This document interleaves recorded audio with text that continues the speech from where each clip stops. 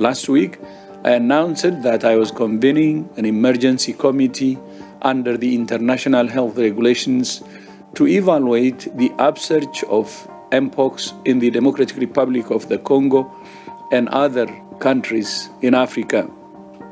Today, the emergency committee met and advised me that, in its view, the situation constitutes a public health emergency of international concern. I have accepted that advice.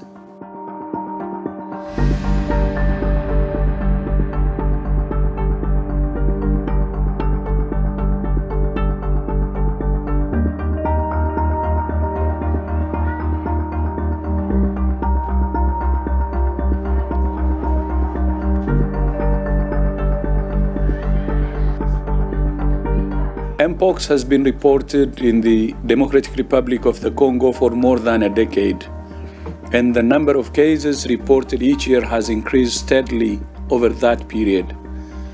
Last year, reported cases increased significantly, and already the number of cases reported so far this year has exceeded last year's total, with more than 14,000 cases and 524 deaths.